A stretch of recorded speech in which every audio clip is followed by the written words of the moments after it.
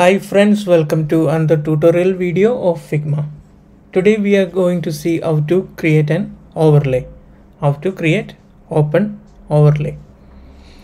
For that I have chosen like iPhone 13 frame, mobile frame and just adding text like adding MR toys, something like that. Yeah. And uh, we'll add some text here okay.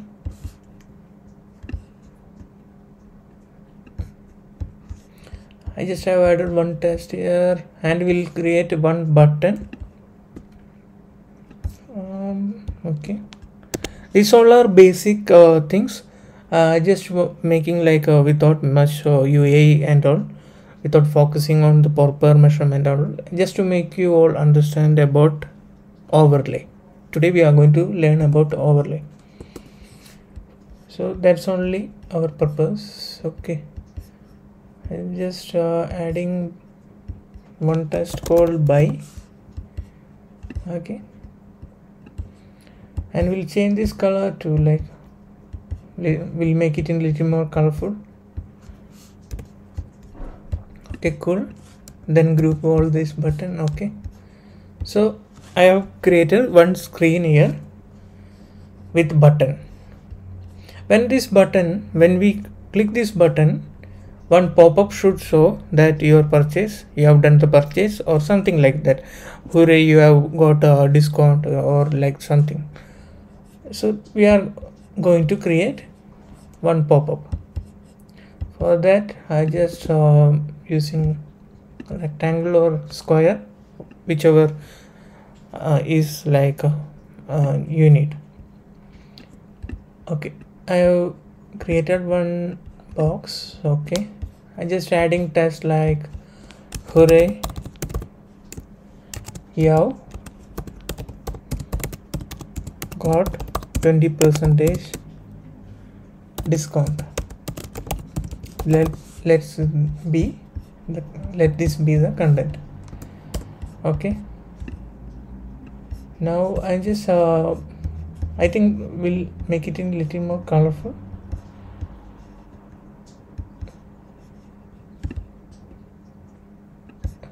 Okay.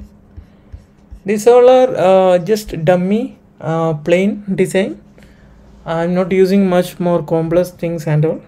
Just uh, like uh, aiming to teach you all about overlay here.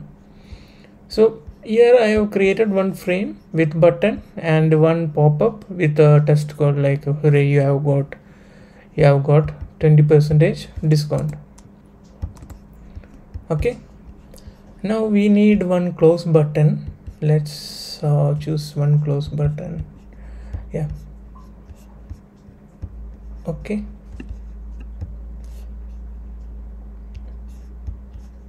you can use in uh, use any plugins to find the buttons and all. I usually use iconify and uh, yeah iconify is bet better thing. You can find out more. Uh, yeah. So i have created one button here. And uh, the size of this button is not proper. You have to follow all the uh, standard measures for even creating buttons and icons and even the text and all these all are dummy. Okay. So we have created one pop-up. Now we are just going to group all the materials. Select all group selection. So it will be grouped separately. Now we have created one pop-up.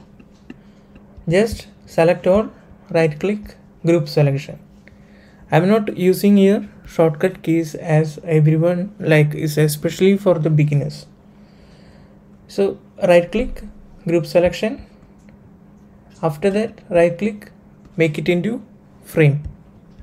Now this is one frame. Now we are going to create the prototype of for overlay. For that click on this button drag to the frame one or the pop-up one.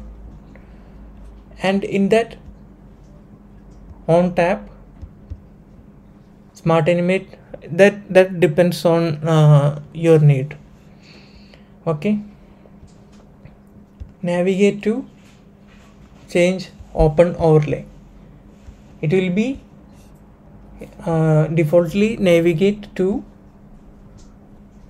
but we need to click open overlay. So now we have created the prototype. And always make sure overlay settings change the settings into manual. So you can move it this pop-up anywhere needed in the mainframe. Okay now I just placing this in mainframe according to my wish. Or else you can choose bottom left centered and all. But uh, usually the overlay comes in center. So I have chosen manual. Okay now let's see the prototype. Yeah so um, when we click buy button pop-up will open or overlay will open. Okay? And for this close button we didn't give prototype. So we have to give prototype to close button. For that just click on that uh, close button and just drag that button prototype to mainframe. On tap it will close and it will automatically comes to the mainframe. And also you can do like um, close when clicking outside. For that go to the prototype of pop-up and uh, choose close when clicking outside. See? Let's see the prototype now I just clicking the button. Now it's showing the overlay. And just clicking outside it automatically gets closed. Or else you can press close button. So this is a simple method for creating overlay. You can try out different ways. Uh, this is a basic. Um, you can explore different different kind of uh, overlays and all I hope you all understood and uh, this video is little uh, bit slow. So you can increase the speed in YouTube and uh, you can see the video. Especially this uh, video is for beginners. So they also want to understand. Thank you so much. See you in the next video